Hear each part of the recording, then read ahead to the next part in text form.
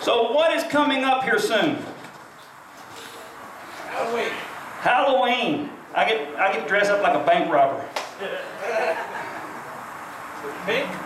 Yeah, in pink, yeah. I was just telling somebody that today. Uh, I get a kick out of this this scarf when I wear it. People say, "Won't you? Aren't you afraid people think you're gay?" Now I'm 53, almost 53. Beautiful wife, seven kids, nine grandkids. If I'm not secure in my masculinity by now, that's it. No hope. Truth is, I've looked at, I've done several times, I've looked at, at Halloween, and it came up, everybody says, oh, it's, it's Satan's holiday. Did you know it's Satan's holiday? No, it's actually it started off as a religious holiday.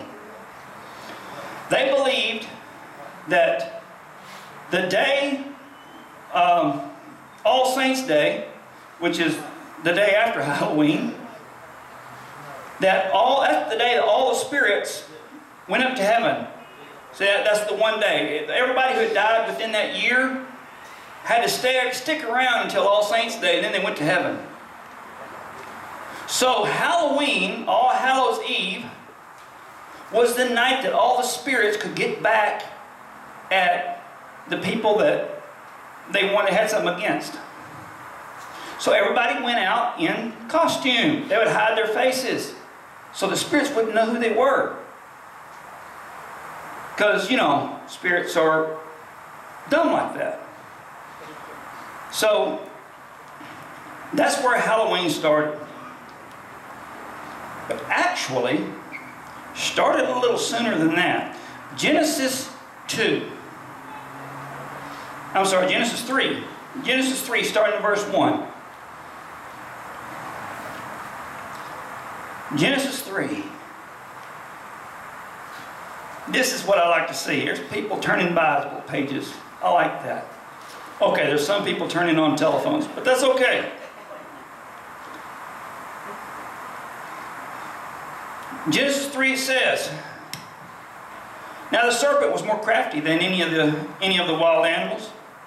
And the Lord God that the Lord God had made. He said to the woman, Did God really say you must not eat from any tree in the garden? The woman said to the serpent, We may eat fruit from the trees of the garden, but God did say you must not eat fruit from a tree that is in the middle of the garden. And you must not touch it, or you will die. Lie number one opens the door for Satan.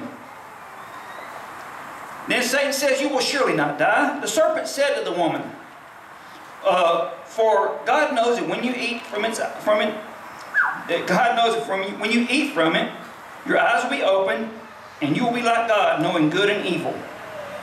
Okay, we'll stop there for a second. What makes a good lie? A little bit of truth. You got to mix in enough truth in it to where it sounds believable. For instance, everybody likes Ernest P. Worrell. Remember him? Remember he was talking about, he said, I was in the war. There was 10 of us. Real men never tasted quiche. We fought all night and the sun come up. And there I was, all alone on the beach, knee deep in cigarette butts and hand grenade pins. Now I can't remember the rest of the story, but there is nothing about that that is believable. or then there's a story that goes around, and I love this story.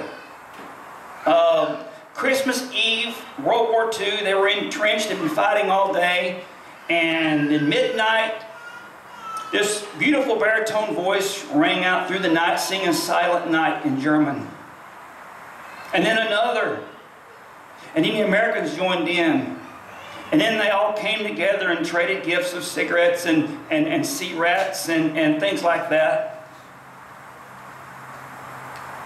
Yeah, that's another one that you go, seriously? Because anybody who's ever been in the military, know anybody in the military, watched a Rambo movie? Here's a believable scenario. They were entrenched. They've been fighting all day. And it came midnight, and a beautiful baritone voice came across singing Silent Night in German, and another joined in. And the commander said, You know, that's a beautiful voice. I mean, and strong. I mean, he got some good pipes to make what? Five, six hundred meters? We need to give them something uh, in, for Christmas. I know. We'll call in a battalion three round and give them 27 high explosive artillery projectiles. They'll love it. What do you think, Sergeant Major? Sergeant Major said, yeah. Uh, they'll be so they'll be so occupied with those presents that, that they won't even want to fight. And as a matter of fact, we'll send our cavalry and infantry over there afterwards to ensure they know that a return gift is not even necessary. That's a more believable scenario. But the truth is, neither one of those would happen. because as soon as this rascal says, silent, they would beat him into submission and say, yeah, silent, you idiot. But a little bit of truth makes a lie believable. Satan is the master at that. In 2 Corinthians, if I can turn that way, in 2 Corinthians, Paul was talking to uh, the people of Corinth. 2 Corinthians chapter 11. 2 Corinthians chapter 11, I'm sorry. Chapter 11. 2 Corinthians. Paul said, I hope you'll put up with, my, uh, with a little of my foolishness, but you already have been doing that. I am jealous for you with a godly jealousy. I promised you to one husband, to Christ, so that I may present you as a pure virgin to him. But I am afraid that just as Eve was deceived by the serpent's cunning, your minds may somehow be led astray from your sincere, pure devotion to Christ. For if someone comes to you and preaches a Jesus other than the Jesus we preached, or if you receive a different spirit from the one you received, or a different gospel from the one you accepted, you put up with it easily enough. I'm going to skip on down a little bit to 13. He expands on this and he says, For such men are false apostles, deceitful workmen, masquerading as apostles for Christ. And no wonder, for Satan himself masquerades as angel of light. Uh, it's not surprising then if his servants masquerade as servants of righteousness. Their end will be what their actions deserve. Satan is a master of camouflage. Now, in the army, we camouflaged everything we had. It seemed like everything was woodland camouflage pattern. You know what I mean? Uh, the clothes we wore, the, the, the vehicles we drove, everything had to be camouflaged. We stick big, huge, uh, big, huge nets over the top of it to, to make sure that nobody can see us. And they were, you love this, they were radar scattering nets. So when they flew over us and had their radar shining down on us, instead of seeing tanks and, and artillery pieces, they'd see this big blank spot. Yeah, that was pretty smart. So, but it works. Trust me, I work for the government. No, but honestly, a master of camouflage. I mean, there's guys in the army that do. I mean, they can hide from you and you can step on them just about and never see them. They're really good at this stuff. Satan is the same way. He can walk right up to you and tell you so much is I mean this is this is not the way it is.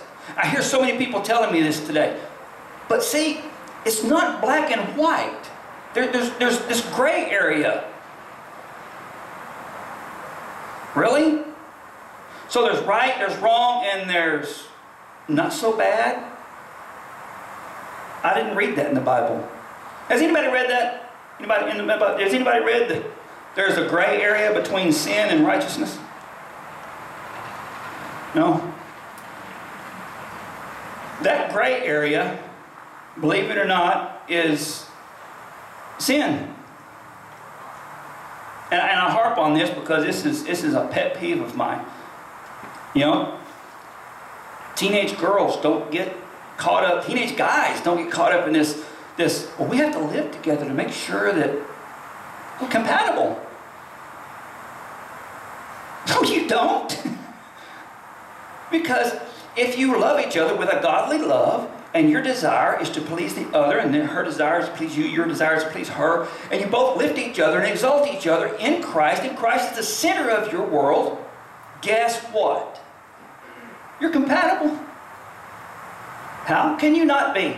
If God made you for Him and Him for you, how are you not compatible?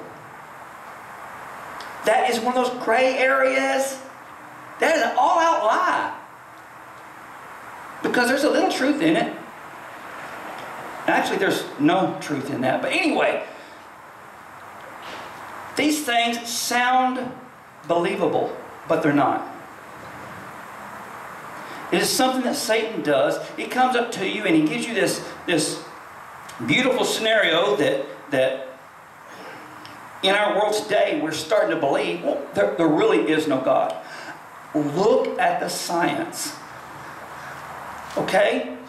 How can Adam and Eve have been created, but the dinosaurs were never around when humans were around because they were here 30 billion years ago? Or something like that. I don't know how many years ago, but they were a long time back there. And then you got people saying, well, this is a young earth because if you count up the years Adam and Eve were, you know, between Adam and, and Noah and Noah and. But evolution. You know what? I believe that evolution is feasible. Honestly, I do. Because if God said, you know what, I'm going to start with this little amoeba, and I'm going to grow that rest, I'm going to culture it. I'm going to culture it until it becomes a human. Okay, I can see that. But somebody, somewhere, somehow, sometime had to create something, right? God had to create something to start culturing. So if you want to believe in, in, in, in evolution, great. I'm with you. God evolved us. Of course, I've not seen the missing link between humans and monkeys yet. That's a little hard for me to swallow. But if God says that's the way we want to do it, we're going to do it. If God says, you know what, I'm going to create all these animals, Man, them dinosaurs look a little dangerous for people. I'm going to go ahead and get rid of them. Okay, now we're going to create Adam and Eve. Are we good now? Okay.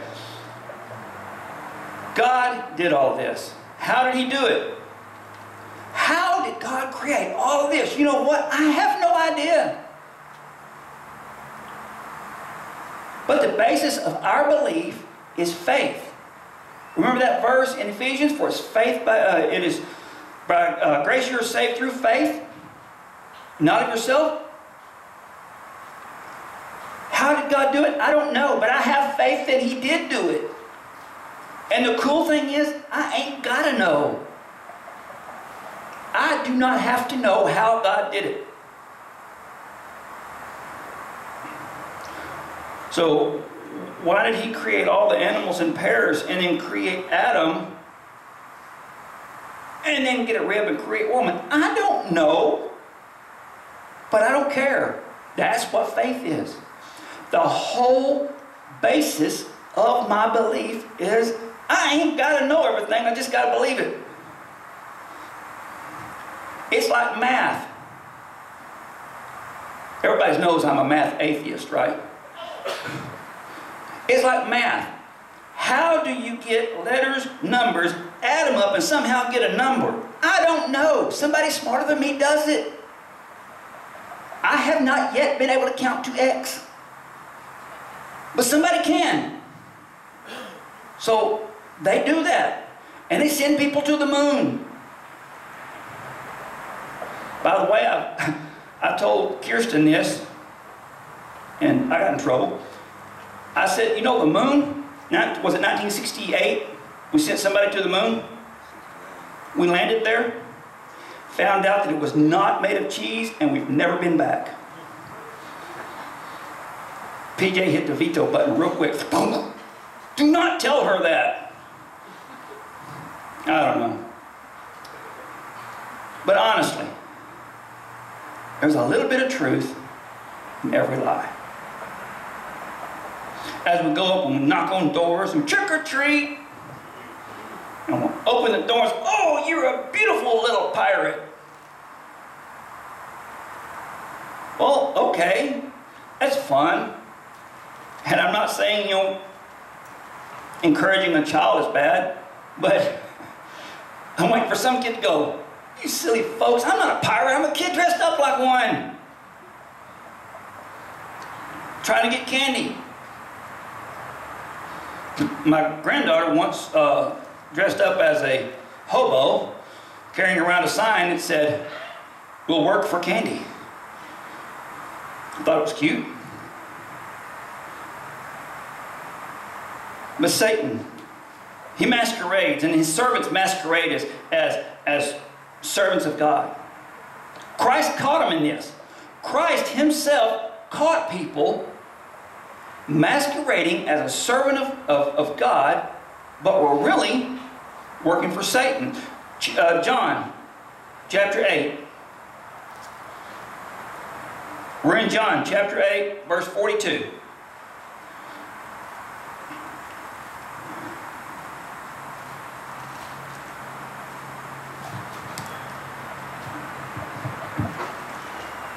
John chapter 8, verse 42, Jesus said to them, If God were your Father, you would love me, for I came from God and now am here.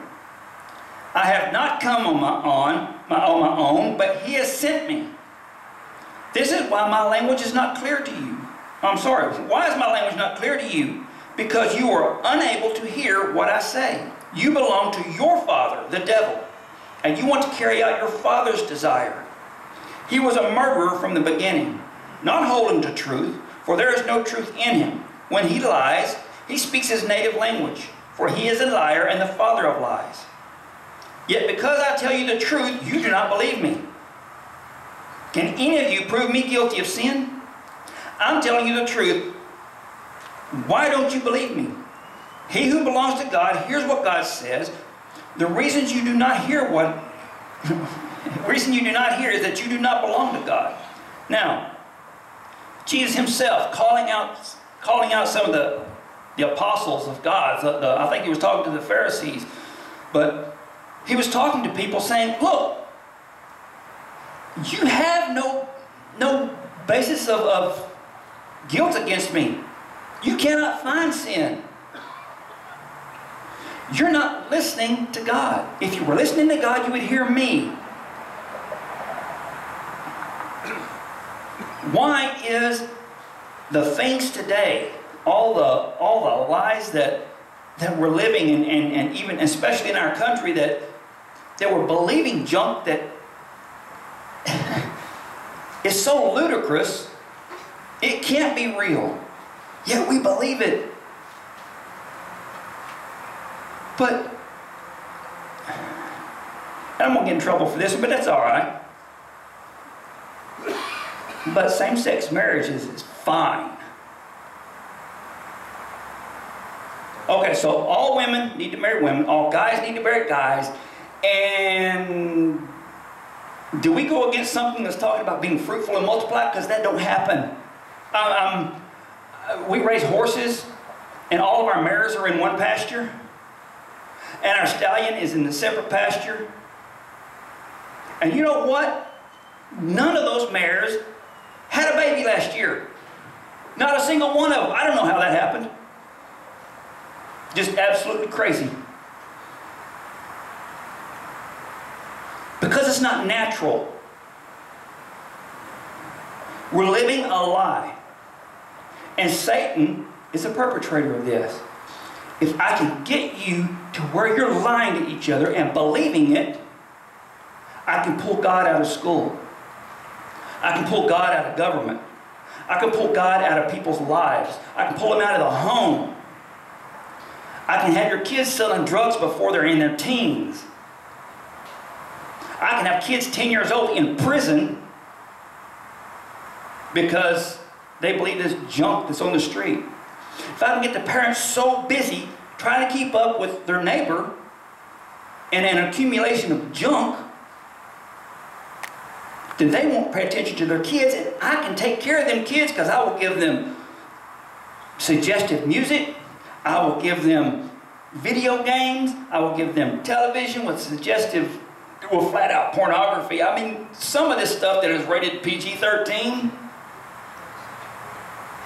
I wouldn't let my 13 year old watch that gunk. Seriously. But it's the lies that, Satan gives us. It's, it's what he gives us to believe, and we're swallowing this junk.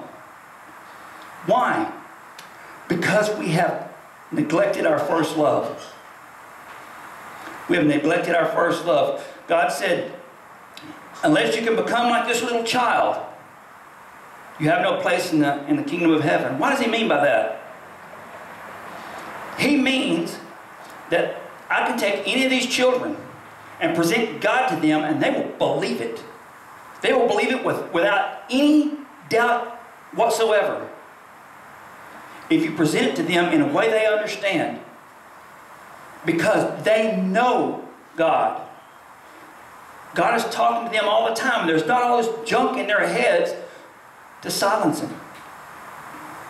And they believe it in an instant. And then we grow up and see everything around us and all this, uh, these things that we think is wonderful and great and, and, and we got to have it. And Satan gets in and he lies to us and we believe it. We've neglected our first love. How about we get in the Bible? I've got a, I've got a little thing on my Bible that comes up every morning, gives me a Bible verse. And so far, every time I've read that one verse, I'm thinking, man, I need to see what the rest of this says. This is pretty good. And I'll go to it and I'll read the rest of it. I'll read the con- whole context of it. And it gets me in the Bible, it gets me studying.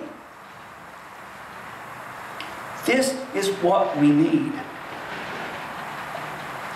I sit up here and I preach and I'll say, I'll, I might give y'all three or four verses, five or six verses. That's not all of it. Don't take my word for it. Go home. Read what else it says. Read the whole context. And if I'm wrong, call me, text me, come back up here and hit me in the face and say, dude, you're wrong. That's not what it said. Okay, don't hit me in the face. But the gut's fine. So, honestly,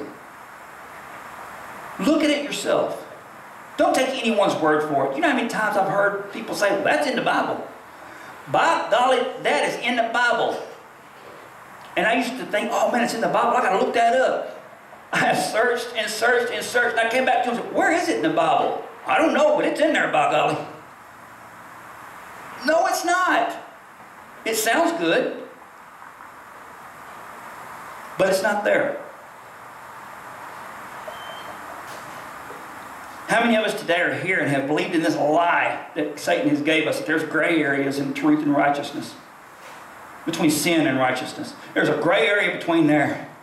How many of us have been living in that gray area? How many of us know? I mean, I don't care if you're living in the darkness or if you're living in the gray area, you know what's truth. You know what is the truth. Because it makes you uncomfortable to hear it and still living like we are. How many of us are here and know that we're on the wrong path? Look, there's a simple way of getting on the right path. God allows U turns on this highway, and trust me, they're safe. It's easy to have eternal life. It's easy to be a part of God's family. It's just a simple prayer. It's not, you can't buy it, you can't steal it, you can't work for it. It's given, it's a free gift. I'm going to lead you in a prayer. And if you're here today and you need Christ's intervention, you want to be a part of his family, follow me. Lord, Lord, I've been living this lie Satan has, has put in my life. And Lord, I know I'm wrong. Lord, I want to be part of your family. I want to, I want to have your love surrounding me. I want you to, to guide me in the way of righteousness.